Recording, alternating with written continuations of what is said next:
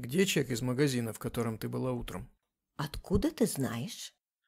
Я всегда чувствую, когда ты тратишь наши деньги.